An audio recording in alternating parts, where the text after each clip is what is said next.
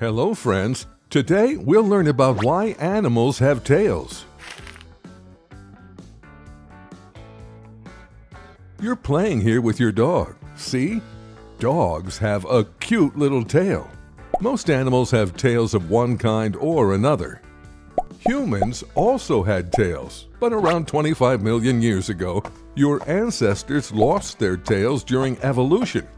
Animals do have tails, and they actually use them in many ways.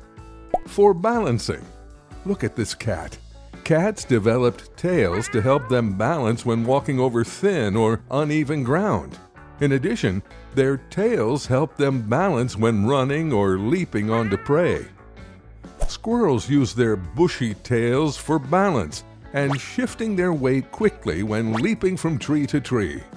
Hmm, could you open the diagram I had sent you? See? The kangaroos use their tails like an extra leg to propel themselves. The tail provides more power to help them move than their front and hind legs combined. Form of defense. Animals that use their tails for protection evolved ways to manipulate their tails to confuse, distract, and deter predators. For example, rattlesnake tails developed to help them warn predators not to get too close. The lizards will cast their tails aside and hope that the predator pursues their tail as an easy snack, so the lizard can make a quick and easy getaway.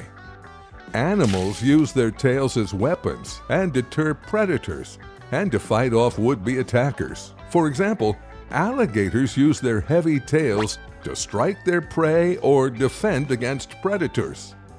For warmth or nourishment, look at this fox which has wrapped its fluffy tail around its body as a kind of blanket.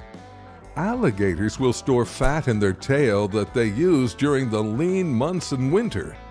To help them navigate, one of the most obvious examples of animals that use tails to navigate is fish. Most fish use their tails to propel their bodies through the water. Monkeys also use their tails to help them navigate.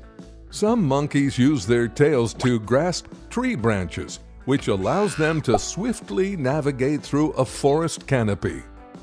As a means of communication, animals use their tails to communicate simple signals to friends or foes, such as warning allies of nearby dangers or conveying emotions.